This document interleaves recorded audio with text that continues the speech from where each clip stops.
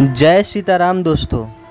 दोस्तों, आज की इस वीडियो में मैं आपको बताने वाला हूँ कि बागेश्वर धाम आप किस तरीके से और कहाँ से जा सकते हैं। तो वीडियो को पूरा देखिएगा और चैनल पे जो भी लोग नए हैं, चैनल को लाइक कर दीजिए, कमेंट कर दीजिए और चैनल को सब्सक्राइब कर दीजिए। तो दोस्तों, बागेश्वर धाम जो है वो है छतरपुर ज़िला में स्थित है, जो कि ये छतरपुर ज़िला मध्य प्रदेश में पड़ता है।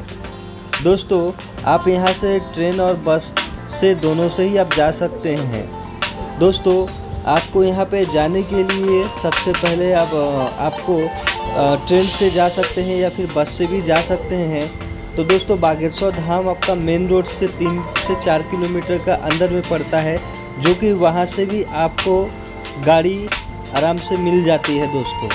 आपको वहाँ से गाड़ी मिल जाएगी, गाड़ी का कोई दिक्कत नहीं होता है।